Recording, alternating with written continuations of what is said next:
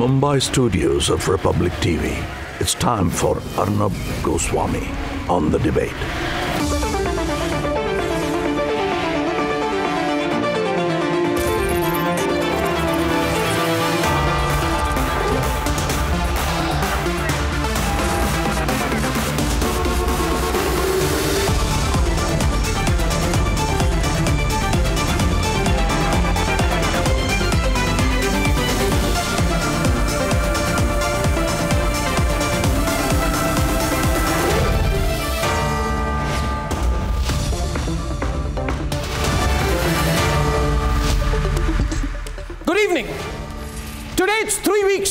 Began, and I think Putin is tiring out. He's looking nervous. His address to the Russian people is showing signs of repetition and uncertainty. Putin is uncertain how it's going to pan out, how it's going to end. Putin has started publicly acknowledging the economic squeeze. He is admitting a huge loss of incomes for the Russian people. He's publicly talking about providing benefits to the Russian people to compensate. He's talking about increasing price rise in Russia. He's also increasingly harping on the great Western conspiracy against the people of Russia. That is 80% of his focus of late. The focus is no longer military, the focus is no longer quick and devastating military conquest by Russia. No. No longer is his narrative about the huge military prowess of Russia, how Ukraine can be defeated. No. His tone instead is a bit defensive. It's about hanging in there.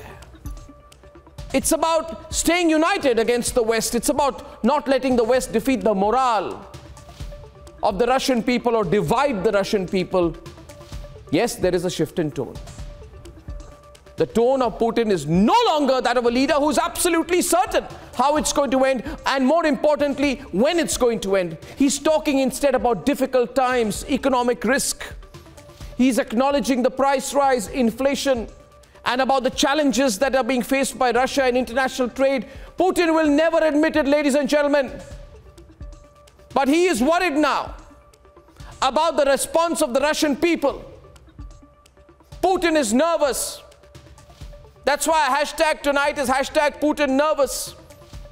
And that is something that wasn't even articulated or a point of concern till 10 days back. So, yes, three weeks since the war began, Putin is talking big about leaving the tough times behind, but I think he's not sure anymore. Especially after hearing him today, he's not sure how exactly he's going to do that. With no immediate victory in sight, my reading is this Putin will talk big at home, but behind the scenes, ladies and gentlemen, he's going to seek a quick compromise soon. That's my gut feel. Let's see where this goes. Debate one. Hashtag Putin nervous. He's nervous, he won't admit it, but he is. Debate number two tonight. And joining me on top of the show, I have the former National Security Advisor to the US government, John Bolton. My second debate at 10 tonight is about respecting the court verdict. I cannot accept how people are going to have buns against a court verdict. That's totally unacceptable. That's saying we don't respect the law in this country, we don't respect the courts. And here are the headlines, ladies and gentlemen, this Wednesday evening on the debate tonight. The ICJ has ruled on Ukraine's genocide claim. Russia has been asked to suspend its military operation. We are asking for a reply, for an answer uh, to this uh, terror from the whole world. Is this a lot to ask for to create a no-fly zone zone over Ukraine to save people? Is this too much to ask? Zelensky addresses the US Congress wants a global alliance to counter Russian aggression. Remember September the 11th, a terrible day in 20, 2001. Our country experienced the same every day. Zelensky compares the attack on Ukraine to 9 11, says we need a global counter within 24 hours if needed. We have every reason to believe that next to Russia, in Ukraine, next to Russian borders, they were basically creating components for biological weapon. So we have, and in this regard, we were forced to launch this special military operation. Putin addresses the West directly, starts looking nervous, says the West is trying to weaken Russia for decades now.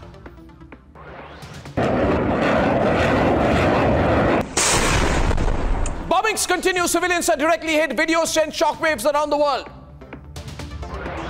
An issue settled by the courts, but the unseen hand wants to protest and block the streets over the judicial order on hijab.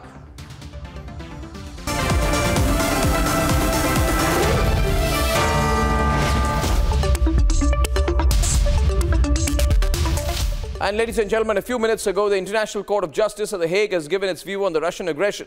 The Hague has ruled that the attacks have hit civilians and that Russia must halt its military operations immediately. So today marks a turning point. Will Putin pull back now? Can he afford to carry on? Let's debate.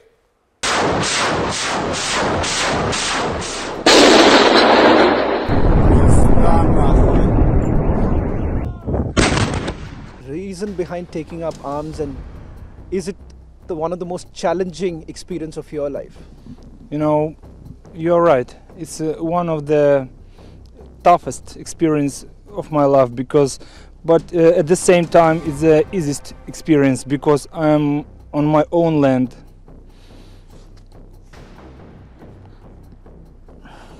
They Russian troops have already fired nearly 1,000 missiles at Ukraine, countless bombs. They use drones to kill us with precision. This is a terror that Europe has not seen, has not seen for 80 years, and we are asking for a reply, for an answer uh, to this uh, terror from the whole world. Is this a lot to ask for to create a no-fly zone, zone over Ukraine to save people? На нахуй. Ебать. In all his addresses to world leaders, President of Ukraine Vladimir Zelensky has always exhorted that it is time that the world stands united to protect Ukraine. In his latest address to the US Congress, he says there is a need for a new alliance, an alliance which is going to respond within 24 hours if any country faces an aggression like Ukraine has. We have every reason to believe that next to Russia, in Ukraine, next to Russian borders, they were basically creating components for a biological weapon. And our numerous warns that such developments have poses direct threat to the safety of Russia. They were rejected by Ukraine and by their patrons from the US. And they did it in a very brazen way.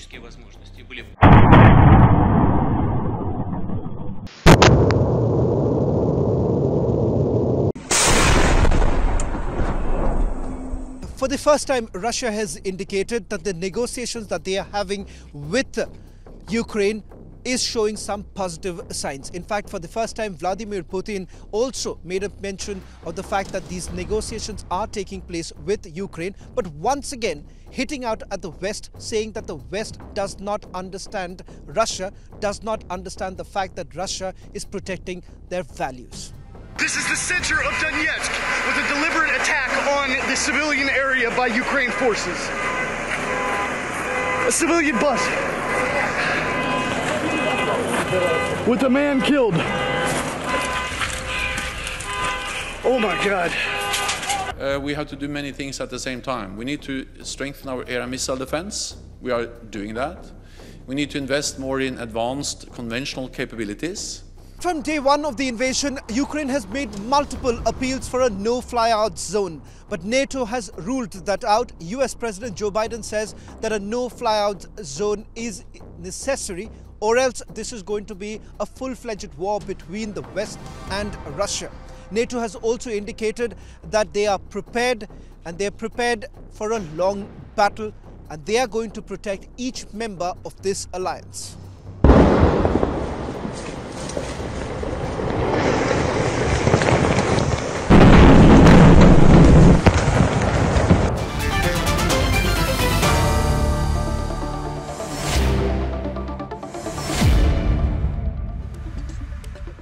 First, Ambassador John Bolton is former National Security Advisor of the US uh, and former ambassador to the UN for the United States.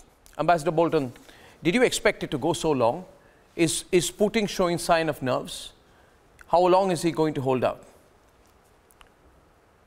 Well, I think uh, most military observers are quite surprised that uh, the Russian effort is bogged down the way it is, uh, and the estimates of Russia's ability to uh, uh, to win were were rated pretty high pretty early, and uh, that has obviously not happened. And I think that's potentially quite significant because at some point the supply of weapons and and other material to uh, Ukraine might might be enough to establish a situation where the Russians can't make further progress, uh, and that would be a huge reputational blow uh, to the Russian military. I think that's why Putin at the moment is not interested in negotiation. Why I think uh, the likelihood is this this is uh, this war will continue and continue to escalate. If it continues to escalate, you know, I, I also heard him today when he was talking to his own people on a, on a television address and he talked about the economic consequences of war, he talked about job losses, he talked about inflation, he talked about the need for the Russians to stay together. I, I thought uh, sum total he, he seemed more nervous than he did a week back.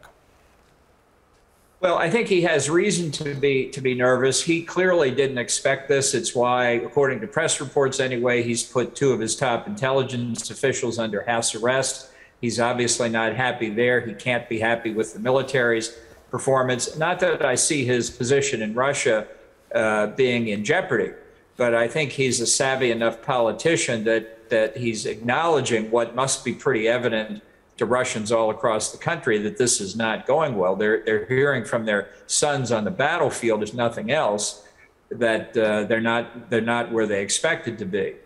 But as I say, I think this, the the way this looks now, Putin has to achieve some kind of success however he defines it, that permits him to say, I have now made my point and I'm prepared to negotiate. That would be coming from a position of strength. Right now, I don't think he's in that position. And he obviously has to take something, something for, the, uh, for the Russian people.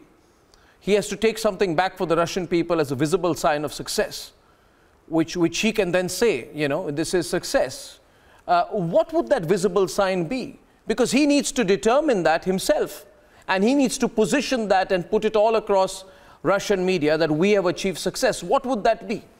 What would that that's, be? Well, that's right. I, no, I, I fundamentally agree with that. I, I, think the first element of that has got to be a significant military victory.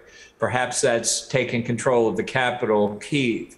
Perhaps it's finally getting control of the north shore of the Black Sea, which is a huge strategic uh, uh, issue for the Russians. But something like that, as opposed to what they've got now, which is a grinding, uh, inconclusive uh, situation. Now, I, I have thought for some time that what Putin's ultimate objective is, is to take control of a pretty significant uh, amount of Ukrainian territory that is primarily Russian culturally.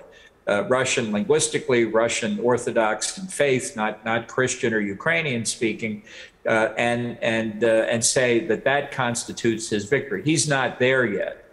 Uh, but if he were able to achieve that, whether he captured Kiev or not, then I think he could say, yes, this is what we want. We have, in effect, reunited the primarily Russian, culturally Russian parts of the country with Mother Russia itself. Uh, for that, for that, there needs to be an acknowledgement of, of, of the changed map. I thought Lavrov, his foreign minister, was sounding more conciliatory because he was changing the goalposts. And he said, well, we also, it's not just about we don't want to take over Ukraine. We don't want to run Ukraine. We are willing to recognize Ukraine as a separate nation, almost, he seemed to suggest. But we need the rights of the Russian people in Ukraine, the rights to acknowledge the Russian language, etc. So I think he's changing the goalposts. Well, Lavrov think, is changing the goalpost, I think. Uh, well, well, well, that remains to be seen. You know, the division in population is not something you can call with a red line on a map. It's kind of a bad case of measles uh, in terms of Ukrainian speakers and Catholics being mixed with Russians and uh, Eastern Orthodox. But the, the division geographically I laid out is where the predominance of the of the Russophile population lives. Uh, and I think also this is a game, a propaganda game. Neither the Russian side nor the Ukrainian side wants to look like they're the obstacle in the peace talks. I think at the moment, uh, it's not likely that much will come out of them. If there were a ceasefire, I think many military experts would say they think that's primarily to benefit the Russians to give them time to resupply and regroup. Uh, do you think uh, with all of this, you know, it often happens that, that uh, the leader may talk big at home, but quietly behind the scenes, we've been hearing also about some contact between Russia and America, back channel contact. You, it could be likely. I mean, after all, these two countries have had these back channel contact for years now. So something oh, could sure. be. Those, those, yeah. Sure. Those, those, could go on all the time. I think uh, part of the contact may be, and there was an announcement today that uh, uh, the U.S. National Security Advisor had spoken to Nikolai Patrushev, who is his counterpart, was my counterpart when I was there. Uh, that could be about the Iran nuclear deal, too. That's another possibility. Uh, it could be about the man, our man at the uh, International Space Station that's coming back down in a Russian rocket. Could be about a lot of things. But as I say, I don't think the Russians want to be on the side of looking like they are the obstruction uh, to a negotiated peace. But uh, but the Foreign Secretary Liz Truss of the United Kingdom said this morning she was skeptical about these talks. And I have to say that's pretty much where I am as well. Okay. Uh, John Bolton, thank you so much. It's a pleasure to talk to you again. Thank you very much. There's John Bolton, former U.S. National Security Advisor. Let's go straight to the debate this evening. And the hashtag is Putin's looking a little nervous. And Natalia, Natalia Katsa uh, is a former member of parliament uh, of Ukraine. She's there on the top left of your screen. Ladies and gentlemen, that's Mark Finland, head of the Arms Proliferation at the Geneva Study Center for Security Policy and he's also vice president of the Initiatives for Nuclear Disarmament. He's joining us from Geneva. Peter Kuznick on the top right of your screen there, ladies and gentlemen. And joining us from, uh, from Moscow is Dr. Fyodor, Dr. Fyodor uh. Uh, Dr. Fyodor is joining us from Moscow. He's director of the Primakov Institute. Uh, Dr. Hussein Bagay is joining us, chairman of the Foreign Policy Institute from Ankara in Turkey. Marina, Marina Kolesnikova is a geopolitical analyst joining us from Bishkek in Kyrgyzstan. And uh, finally, Farshid Bagarian, Eurasia Director at the West Asia Research Center is joining us from Tehran. Um, uh, you know, Marina, I want to start with you. This, uh, the sense that I got, and when I, when I heard what Putin said, was an acknowledgement of difficulty. For the first time, he's beginning to acknowledge difficulty. He's repeatedly saying we must not be divided, we must stay together. Then he's talking about inflation. Then he's talking about price rise. Then he's talking about the loss of jobs. And then he's saying, I'm going to double up the benefits, I'm going to increase benefits. So he looks, he looks like he's in some difficulty. What do you think? I mean, you know, he's saying don't get demoralized, keep well, up. What do you think? Can you hear me? Yeah, yeah, I can. Marina. Uh, can you hear me, sir? I can hear you, I can hear you. Can you hear me? Yes, very much, loud and clear. Very good. So from day one, uh, our President Putin, and as well as uh, all the senior advisors, admitted that it was going to be a very difficult campaign.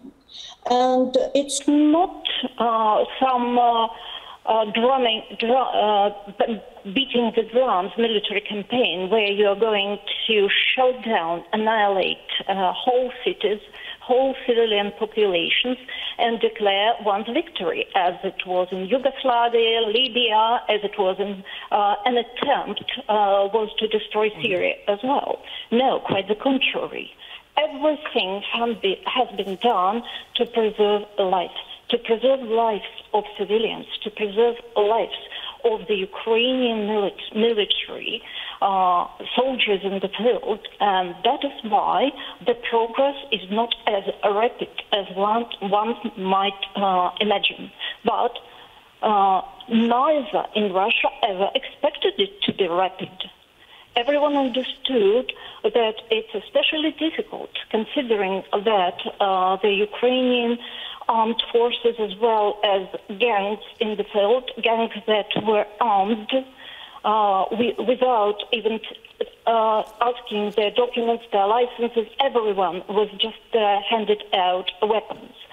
So those gangs, and as well as the military, as well as the Nazis inland, they just take civilians as hostages.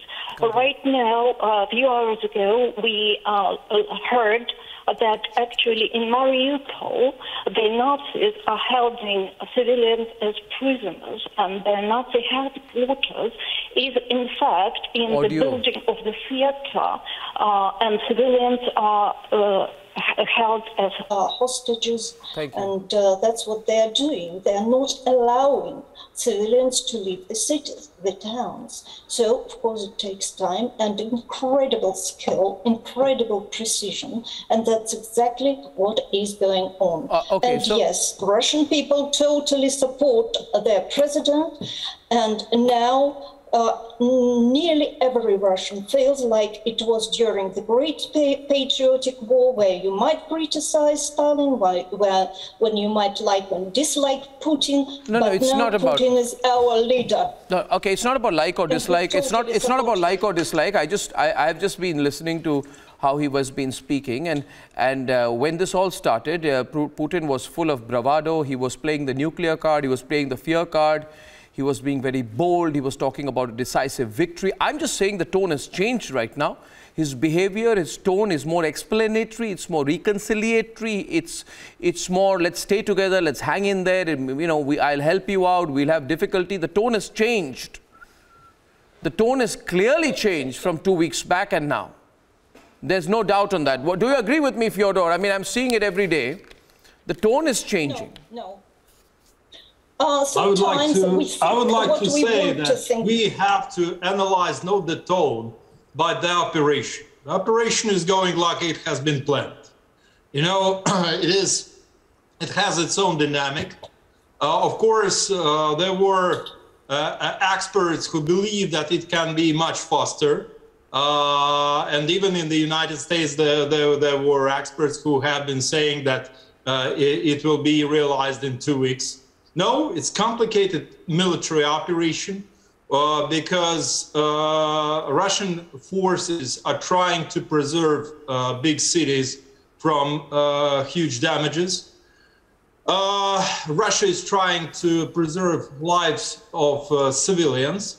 And of course, Russia doesn't want to waste its own military officers and soldiers. And the dynamics of operation are much slower than many expected, but uh, it goes further and further, and uh, it uh, creates uh, the position, military position, which can uh, give a Russian Federation uh, political uh, background for uh, negotiating uh, peace conditions with Ukrainian government. Okay. I would like to stress that from the beginning, Russian Federation is not uh, declining to talk with Ukrainian side and is uh, officially saying that President Zelensky and his government are still in power, but uh, Russian Federation is having its own military and political uh, uh, Yeah, goals Dr. on, on Ukrainian territory.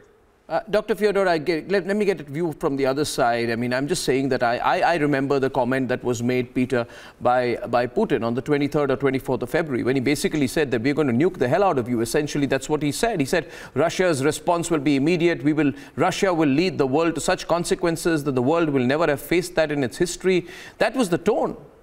That was the tone on 23rd. And today he's saying there is inflation, there is unemployment, we are losing jobs, but this is like COVID. We came together in COVID. We will adapt like COVID, but COVID was a period of uncertainty. So I'm just saying, I'm only comparing Putin. I'm comparing Putin of 16th March to the Putin of 24th of February.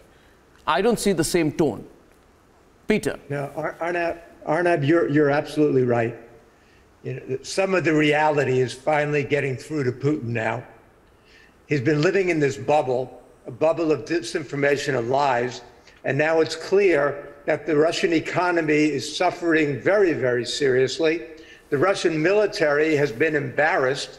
They didn't, they expected some kind of lightning strike to take Kiev.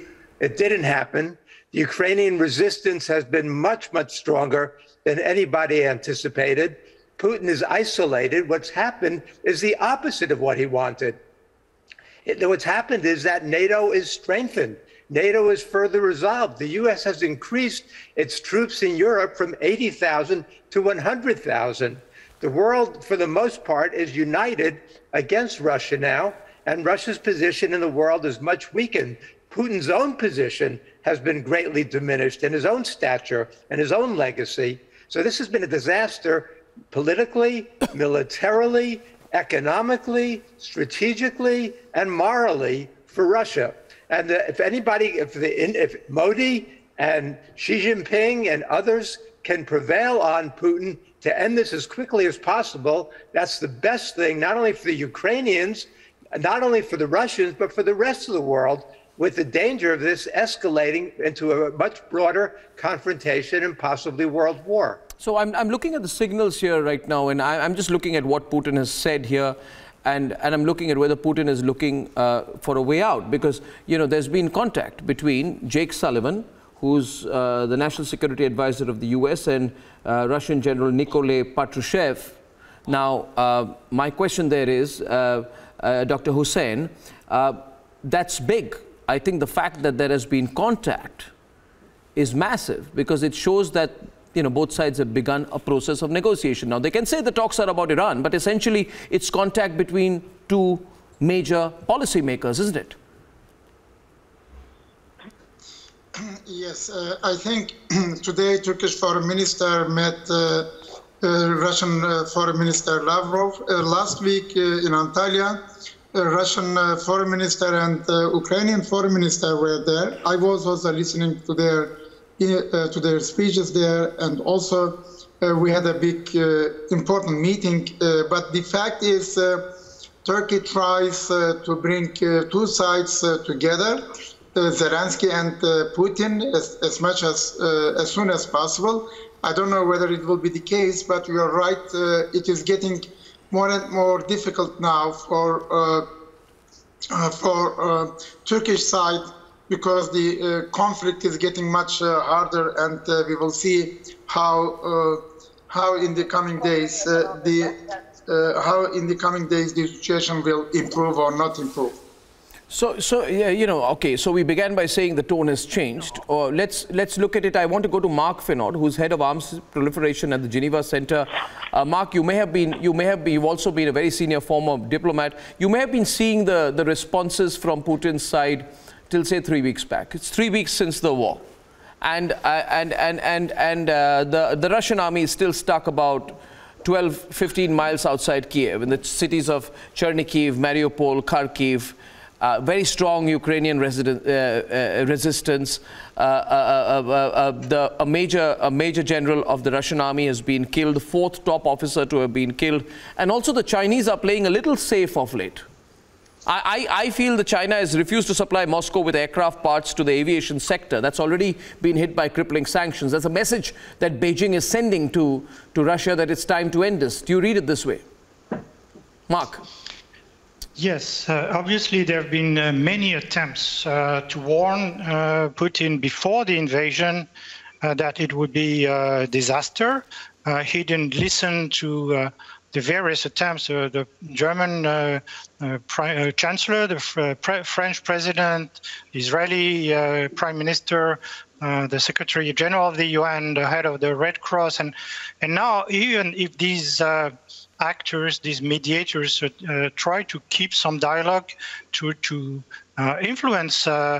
The, the, policy choices of the Russian president, we, we can see that he's hardly listening to anyone. He's just continuing uh, his plan, and, uh, and he's also facing this uh, military uh, stalemate. Uh, you know, situation, uh, and and as we know in war, and this was stated by an American senator after the, be the beginning of World War One, the first casualty of war is truth, and we can see that this is also ongoing this uh, propaganda war, this uh, psychological operations.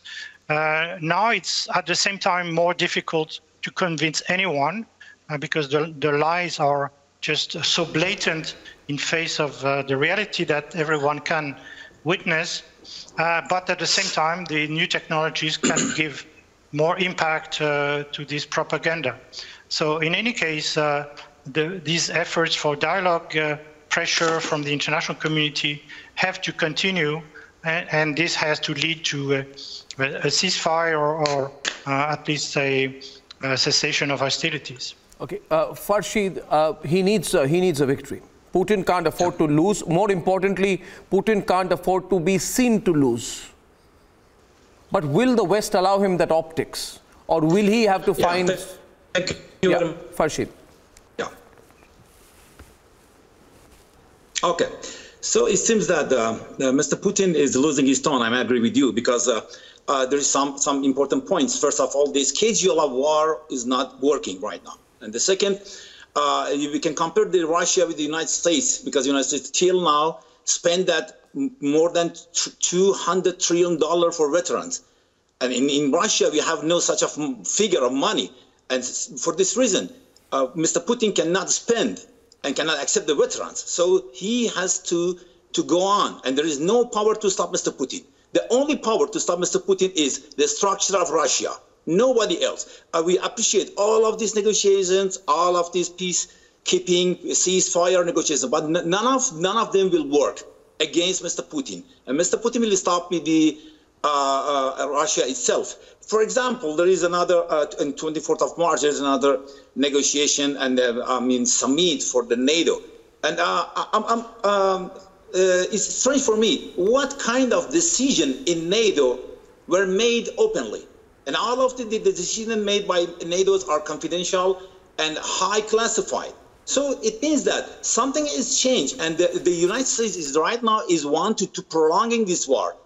Not Mr. Putin. Mr. Putin will, will stop by, by Ukraine, but the United States has no will to stop this war because they want to, to they want Russia to lose all its power, and the empire will collapse uh, completely. That is the fact.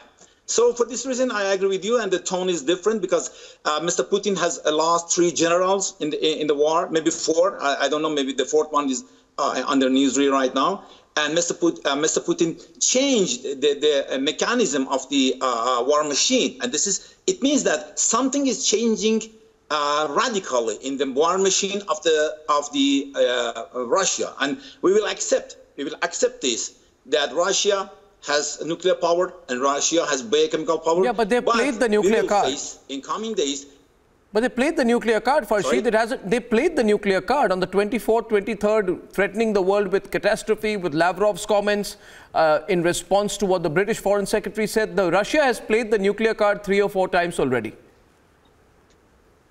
Yeah, they Russia are playing because play uh, nuclear card at when all. you play with the card, it means that you have to use it. This is not only for pronouncing, and they are showing they're showing the edge of the war, the edge of the Russian Empire to the war. That's but the you know- So, for example, uh, Okay. yeah.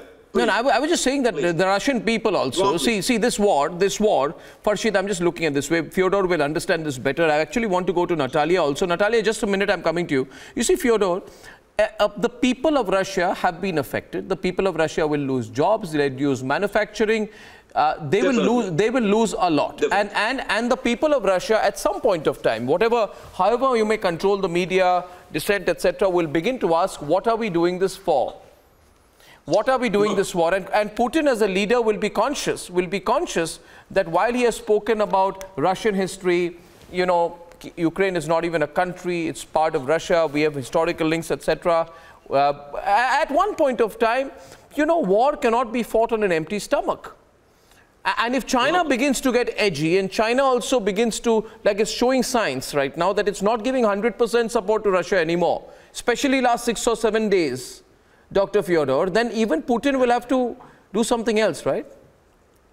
Uh, thank you. Uh, look, uh, from the beginning, from 2000 to, uh, to- to 2014, when uh, the crisis in eastern Ukraine has started, Russia has been under Western sanctions. And with uh, each attempt of Russian Federation to uh, restore peace and stability uh, uh, based on Minsk agreements, uh, we had a new round of sanctions from the United States and uh, European Union. From the beginning, it has been a war with economic instruments because everybody in NATO understands how dangerous can be the direct conflict with Russia. Concerning economy and concerning social situation, of course, uh, all Russians are uh, um, affected by uh, sanctions which uh, uh, the United States and Europe and European Union uh, have applied uh, on Russian Federation. Of course, our private enterprise is suffering. Of course, uh, a lot of people are feeling by themselves uh, the pressure of sanctions. But uh, uh, in case you are using instruments like this, you should take into account Russian psychology. Because in Russian psychology and in our political ethics, when somebody is rising pressure on us, we are resisting stronger and stronger. In this sense, uh, it was the worst way uh, to uh, have a dialogue with Russia from the beginning, from the beginning of politics of sanctions. And especially right now, when sanctions uh, from the instrument of political pressure have, have converted into massive uh, bombings, uh, but massive bombings in okay. economic terms, not in uh, military, of course. No, no. I mean, uh, been. what I see as an opportunity is uh, the dialogue directly between the United States and Russia on the Ukrainian yes. case. Yes. The dialogue between Russia and NATO yes. about the future of Ukraine and the future of relations between uh, Russia and NATO and uh, stability and peace in Europe. Right now, we see the results of pressure uh, uh, and attempts of uh, Western community of the United States and NATO to engage Ukraine into their sphere of influence. And we see what is happening. We see all this tragedy, but not the Russia has started it. Yes, okay, so I, I, would like to get Natalia in. Natalia, you've heard all that, and essentially what, what, what Dr. Fyodor is saying would seem to bypass Ukraine, and so let's let Russia and, and let Russia and the United States directly have talks, which is exactly what, exactly what Putin has wanted from day one. But I don't think America will agree to that, bypassing Ukraine. What do you think? Because the people of Ukraine have suffered.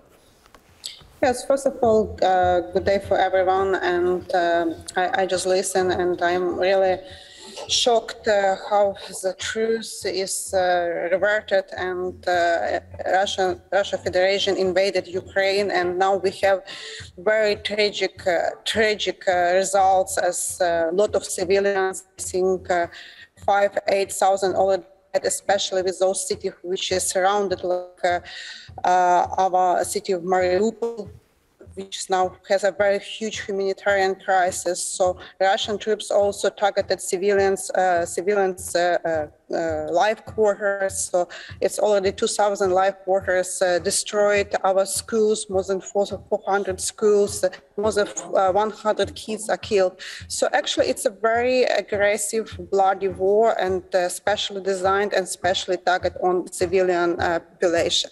So it's, this is the true.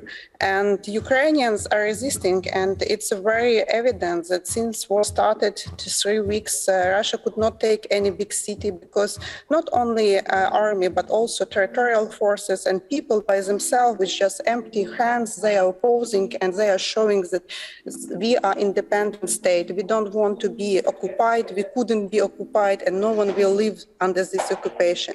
This is the position of ukraine. We are not the object of negotiation. We are subject and ukraine will decide whom to join when to join and how to behave. And people are express this very clearly clearly and uh, loud that no, we don't want any Russian words, any Soviet Union restoration, etc., etc. So now it's become very, very evident. So this is our position, uh, not to allow any occupation what if, uh, what if, and what any if, aggression. No, what if, what if Putin says, what if Putin says, Natalia, that let the war continue till May, let it continue till June, let it be relentless. I have enough reserves. I will keep attacking. And, you know, he did, he did bomb uh, Zaporizhka. And, and, and there have been blasts in Kiev, in, in Dnipro, in, you have seen exactly what has happened in Mariupol. What if Putin says, I'm going to take this through till I win? Let there be devastation. Let us, let us continue. Let's see what the US does. I'm not going to attack NATO, but I will continue hammering Ukraine. Uh, this is what is going on now. So he is attacking uh, uh, civilians, cities, uh, and our infrastructure, which is very much destroyed. But for the other side, people are ready to fight and defend their homes and their land, and it's evident, it's clear now. So since war started, you see that this is a heroic defense of our land. Secondly, uh, Ukraine will not surround it, and uh, we will defend our land by the win because we really believe that Ukraine can win this unfair and uh, unequal war because on, uh, we are on the right side of this uh, of this. so, so Ma Ma Marina, what is the game plan? I mean, is, Putin is Putin. What is the game plan? Just continue continue bombing more cities, is it? I mean continuously the war is. Uh, initially, it was to demilitarize Ukraine. That was the target. I don't know what the target is anymore. I don't know what the target uh, is anymore. Sir. But the cost, but the cost on the cost on the cost on the on Russia is also major. You know, can you afford this conflict to carry on till May, for example? Can you can you really uh, afford it?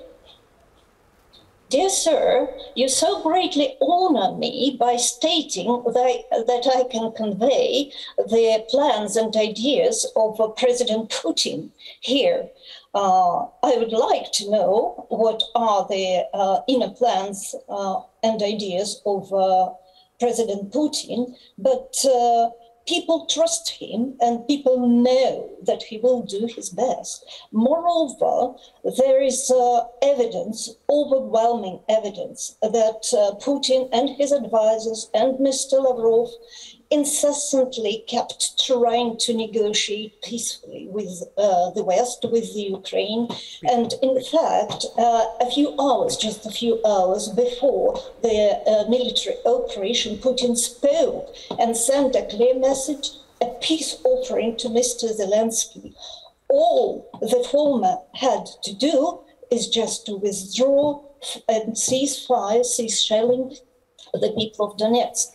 On some strange reason, people tend to forget or just ignore the 15,000 casualties, civilian casualties killed in Donetsk over these eight years. The, their children killed with their mothers. Somehow they ignore this.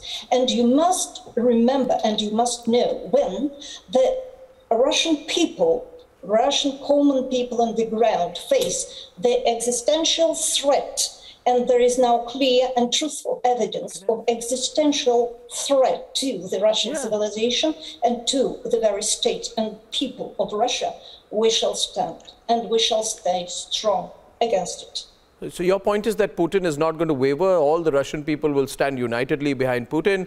This is not going to have an economic fallout. It's an ideal situation for Russia, but it's tough to believe 60% of your oil goes to Europe, right? And, and, and if there is a WTO expulsion, that could allow all WTO members to ramp up tariffs on Russian imports and indefinitely discriminate against Russian products. And that trade amounts to 25% of Russia's GDP. And, and at the end of the day, militarily also, I mean, NATO, NATO is much larger, much, much more powerful than Russia, military terms, direct to direct to direct, you know, comparison out there. So, uh, especially after the battering the Russians have taken. Question here is, now, Peter, we're taking it to the point, some of the Russians say, let it continue forever. Let's see what happens. Let's see what the West does. Can they, is that just bluster or can they follow it through? Uh, it's mostly bluster, but this war could go on for months. It could go on for years.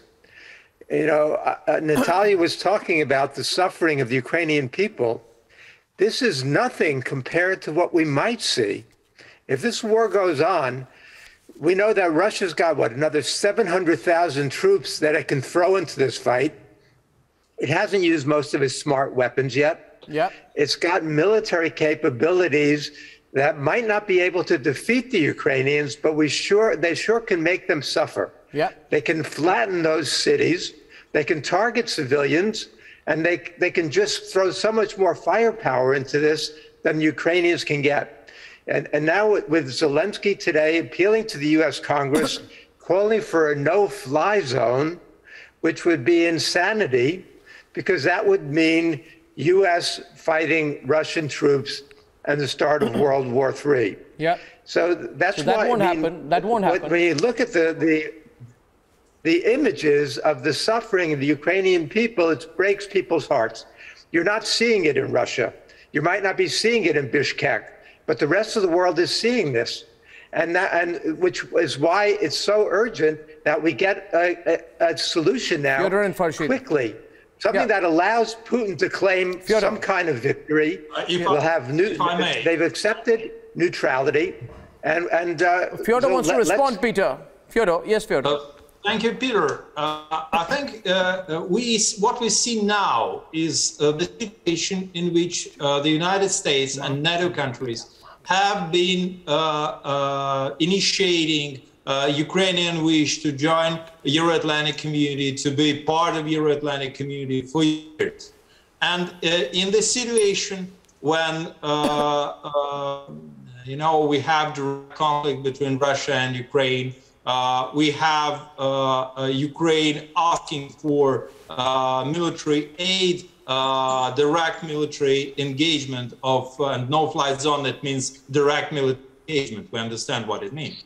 When it is asking NATO for direct military engagement, we see that that NATO is doing step aside. That it is much more interested conflict between Russia and Ukraine than in uh, any uh, um, peaceful No, I think, reconciliation. I think at the same time, Peter, you know, I, And on the I, I, think, I think America has also got to have a vested interest in ending this. You know, I think Jake Sullivan's meeting with the Russian general is a step in that direction. Marc, I think, I think the, the Americans also have a vested interest in ending this for Jake all the Sullivan and Mr. Patrushev are having regular contacts during all the uh, du- during the last two years, and uh, it's It needs uh, to be more now. It needs to be more aggressive, more often, more frequent now. Marc, Marc.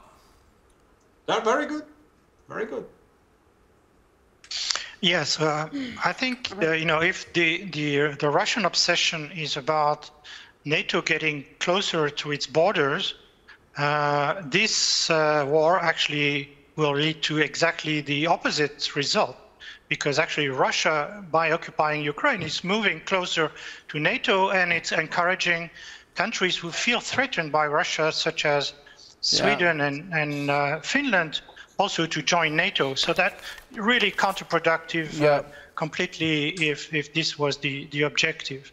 Uh, but more than this, I think we should just keep repeating uh, that whatever disputes there were, whatever disagreements Yeah, yeah, with yeah. You know, Ukraine, yeah. with the West, uh, you know, th- these are the, fundam- the fundamental basis of the uh, international system put for uh, put into place after World War Without II. doubt. Now, Marc, I, I, I feel, I feel, if I can just, in conclusion, say that I do feel today that the, the mood has changed. Putin is talking differently, and if you see the nature of the discussion, also, everyone's getting a little war weary. They want this to end. And I think that's a good sign. Let's see where it goes. Ladies and gentlemen, on the other side, why I'm personally appalled that people are taking it out on the streets calling for buns after a court verdict on the hijab issue. Absolutely unnecessary. See you in a few minutes.